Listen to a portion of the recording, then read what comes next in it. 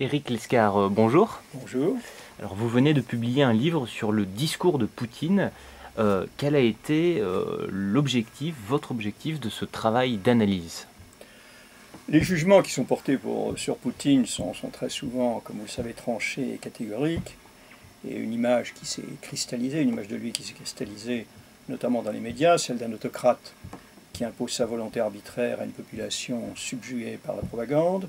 C'est celle d'un extrémiste qui serait sous l'influence des courants nationaux populistes, et c'est celle d'un aventuriste qui serait animé par des ambitions impériales. Alors en m'appuyant sur son discours, à la fois sur les métamorphoses que ce discours a connues au cours des 18 années euh, maintenant euh, que Poutine est au pouvoir, et sur les éléments de continuité de ce discours, j'essaie de montrer que la réalité ne cadrait pas avec cette image, ne concordait pas avec cette image, et qu'à bien des égards, elle était même à l'opposé de cette image. Alors, sur quel thème avez-vous principalement centré euh, votre analyse du discours de Vladimir Poutine? Je me suis concentré sur un thème particulier, parce qu'il me paraît central, c'est le thème du modèle de développement et du processus de modernisation de la Russie. D'une part, parce que c'est un problème idéologique qui est traditionnellement essentiel dans l'histoire de la Russie, depuis les années 40 du XIXe siècle, et sinon même dès le XVIIIe siècle, et c'est l'une des questions, et peut-être euh, la question, qui continue de diviser le plus profondément aujourd'hui les élites dirigeantes et les milieux intellectuels en Russie. Mais ce problème du modèle et de la modélisation, c'est également un thème essentiel dans le discours de Poutine. Il me semble que l'analyse de ce discours nous montre que la notion de poutinisme que s'emploient à répandre certains médias n'est qu'un mythe. À travers son discours, Poutine se révèle n'être ni un dogmatique ni un doctrinaire. À aucun égard, il ne me paraît innové. Il n'est pas le démiurge, il est simplement le produit d'une période de transition particulièrement longue et chaotique.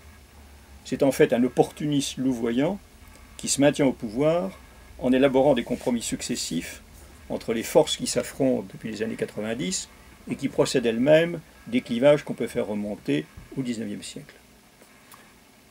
Alors, euh, depuis sa réélection en 2012 et particulièrement depuis la crise en Ukraine et l'annexion de la Crimée en 2014, Poutine est perçu, euh, du moins euh, en Occident, comme ayant embrassé les thèses des courants nationaux populistes qui sont traditionnellement puissants en Russie.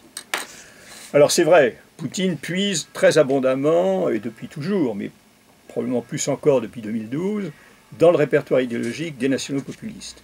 Ils jouent de leur thème obsessionnel, qui est l'hostilité, l'hostilité militante, qui serait celle de l'Occident, contre la Russie, et il en joue pour mobiliser une opinion fracturée et désemparée, et pour la rassembler autour du pouvoir. Mais sur la question du modèle économique, même dans le contexte actuel de crise profonde, de crise aiguë avec les Occidentaux, les nationaux populistes se sont révélés totalement impuissants à faire prévaloir leur isolationnisme et leur hostilité radicale à tout libéralisme économique. Poutine maintient en fait contre ces, nationaux populistes son système hybride qui juxtapose certes un capitalisme d'État sur lequel la presse aime insister, mais également une véritable économie de marché. C'est en usant des mécanismes de marché que, bien plus que l'intervention étatique, que les autorités financières en particulier ont réagi avec l'appui explicite de Poutine à la crise financière, lors de la crise financière de l'hiver 2014-2015, qui était consécutive à la chute des prix du pétrole. Alors l'obsession d'une reconquête euh, de la part de Poutine du statut de grande puissance, exprimée euh, justement euh, par toutes ses actions, n'est-elle pas le signe annonciateur d'une politique aventuriste? C'est vrai, de fait, il est certain que la reconquête du statut de grande puissance semble chez Poutine avoir pris le pas sur les problèmes d'efficacité de l'action gouvernementale et de modernisation du pays. Mais si Poutine fait de la politique symbolique et non plus de la politique dite réelle, l'instrument privilégié de légitimation de son pouvoir et de mobilisation de l'opinion, son discours n'exprime pas véritablement l'obsession d'une reconstitution de l'Empire. Il use d'un réflexe de défense, il use de mécanismes compensatoires qui trahissent ce qui est sa hantise profonde, c'est-à-dire la dislocation du corps social.